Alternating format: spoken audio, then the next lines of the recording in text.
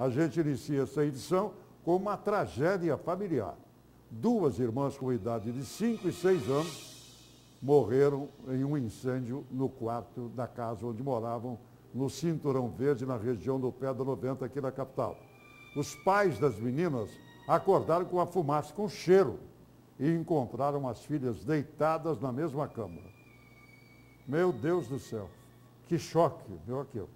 Imagine o pai das crianças abrindo a porta do quarto e se deparando, se chocando com essa cena aqui. Oliveira Júnior, o nosso multimídia, mostra tudo para a gente aqui, nessa tela aqui.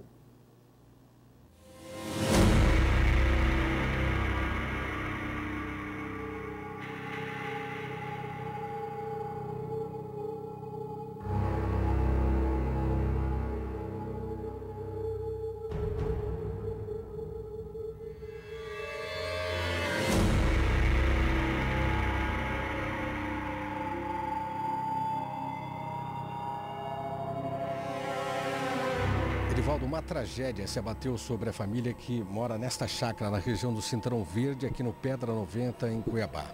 Na madrugada de domingo, por volta das 2h40 da manhã, os pais que estavam dormindo em outro quarto acordaram com um cheiro de fumaça. E quando se dirigiram até o quarto onde as duas meninas de 5 e 6 anos estavam dormindo, as encontraram mortas.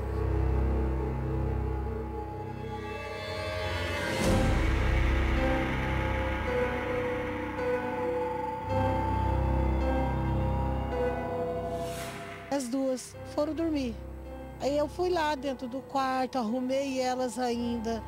Aí falei para Isis que o ventilador dela ia ficar no chão. Ela foi falou que não, que queria o ventilador em cima da cama.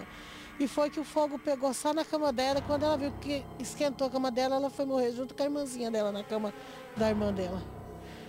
Aí as duas faleceram. Quando nós chegou lá duas horas da manhã, ela já estava já morta. Estava todo mundo em casa.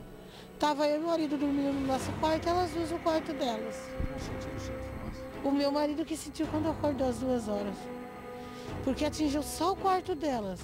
Vamos entrar na casa com, com autorização da senhora, da mãe, para mostrar onde que essa tragédia aconteceu.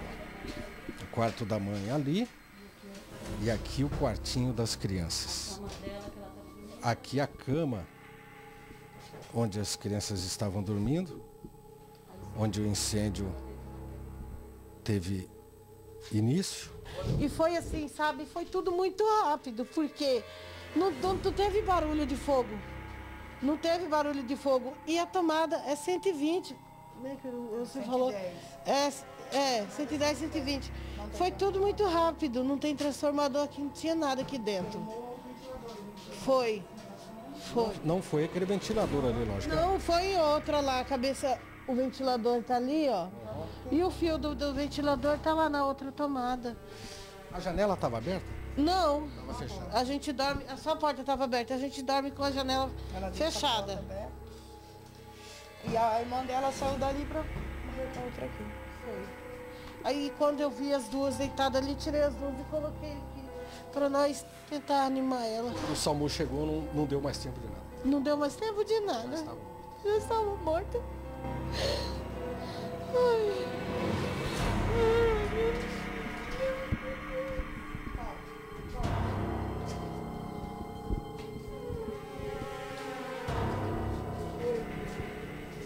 O fato é que as crianças, as duas meninas de 5 e 6 anos de idade morreram por asfixia, porque foram asfixiadas pela fumaça. Você vê que o forro, que é de PVC, ele caiu, veio todo abaixo com o calor. Imagina a temperatura que estava esse quarto quando aconteceu.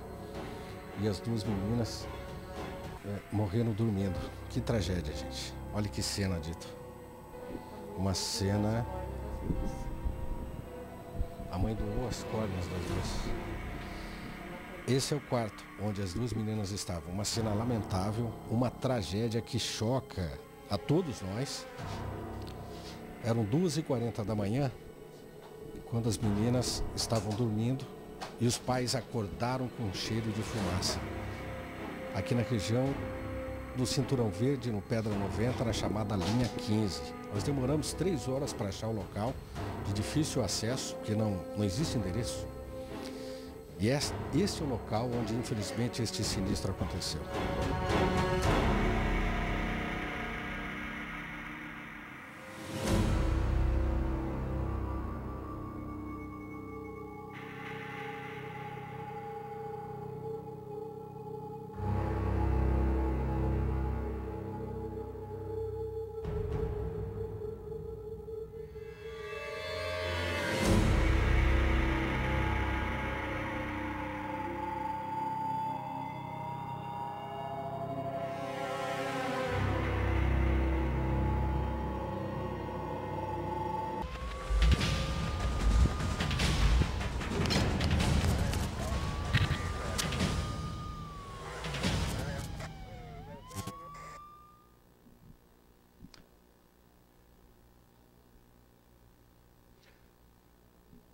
Olá, Edivaldo. Bom dia a você. Você que acompanha o Cadê Neles em todo o estado. Nós estamos aqui na Delegacia de Homicídios e Proteção à Pessoa que está investigando esse caso da morte das duas crianças de 5 e 6 anos. Tragicamente vieram óbito nesse incêndio que aconteceu ontem, por volta das duas horas da manhã, ah, na região do Cinturão Verde, ali no Pedra 90, uma região de chácaras, que, como eu disse na reportagem, é um local que não tem endereço. Né? A única referência que havia, e até a polícia teve muita dificuldade para chegar até lá, era que era linha 15, porque lá cada rua que tem um poste, uma linha de energia tem um número, né? Então, nesse local, onde infelizmente aconteceu este sinistro que tirou a vida destas duas crianças. Nós estamos ao lado do delegado Anderson Veiga, aqui da DHPP, que vai conversar com a gente sobre os procedimentos que serão tomados a partir de agora, delegado para investigar as causas desta tragédia. Né? O primeiro passo qual é? Ouvir as testemunhas, os pais? Bom dia. Bom dia, Oliveira. Bom dia, Edvaldo Ribeiro e telespectadores. Pois bem, os trabalhos policiais se iniciaram com o atendimento do local, no local do fato. É um local de incêndio. É, e como bem visto, vocês tiveram a oportunidade de estarem lá. É, nós tivemos um foco de incêndio onde, onde o fogo atuou ali num um dos quartos da casa, um dos quartos onde as crianças dormiam. E imagina-se que tiveram dificuldades para sair do local, e, e, ali elas morreram em virtude de, imaginamos, de inalação de fumaça e, e também, também por conta do calor, né? É, nós notamos ali que é, houve muito, muita produção de fumaça, possivelmente fumaça tóxica, e, e as, as, meninas não aparentavam estar com queimaduras graves. E, e claro que esse, essas respostas serão dadas pelo corpo da medicina legal, mas assim, a primeiro, uma, uma, primeiro, uma primeira constatação, imagina-se que é, morreram por asfixia. Né? E, infelizmente, essa, esse lamentável fato aconteceu.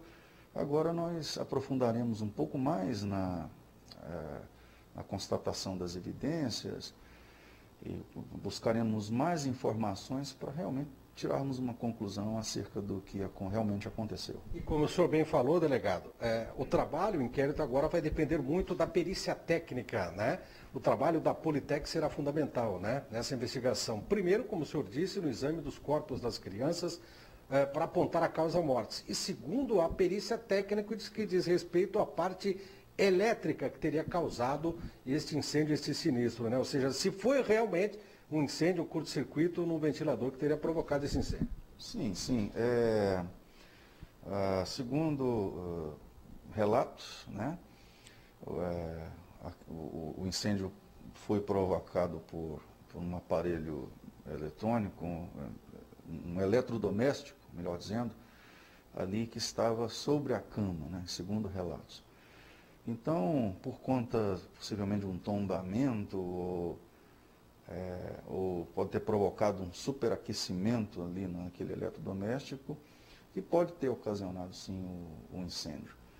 O que se viu realmente foi que o foco do incêndio foi sobre uma das camas do quarto. Né?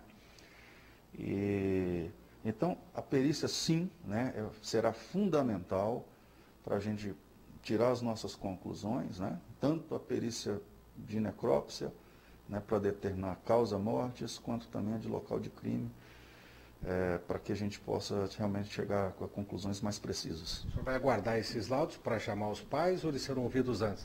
Não, isso não tem como a gente definir, determinar no momento, né? Até porque eu, a, estamos aguardando aqui a documentação das investigações preliminares e assim a gente dará é, seguimento à, à, à apuração. Obrigado pelas informações, doutor Anderson Veiga. É, e as imagens que nós vimos, Edivaldo, são realmente chocantes. Você viu que é um quarto praticamente do tamanho dessa sala que nós estamos aqui na DHPP, na DHPP é, né? cerca de 3 por 3, né? um quarto pequeno, tinha uma janela nessa posição, a janela estava fechada. Então, a, a imagem que nós temos, você vê que tem uma cama à esquerda, onde uma das meninas estava deitada, colocou o ventilador e ela foi se deitar com a outra e só queimou aquela cama da esquerda. A da direita estava intacta. E a temperatura chegou a tal ponto naquele quartinho onde as meninas estavam, que o teto né, de PVC, que é um material plástico, ele derreteu, ele caiu, né, virou uma Maria Mole, caiu no solo. E os pais estavam a cerca de 3 metros, né, é, do, do, quarto onde aconteceu essa tragédia e foram acordados com a fumaça por volta das 2h40 é, da manhã, das 2 da manhã, 2h40, quando a polícia chegou ao local. Então vamos aguardar esse trabalho fundamental da Politec, que lógico vai ajudar nas investigações. Voltamos com você, Edivaldo.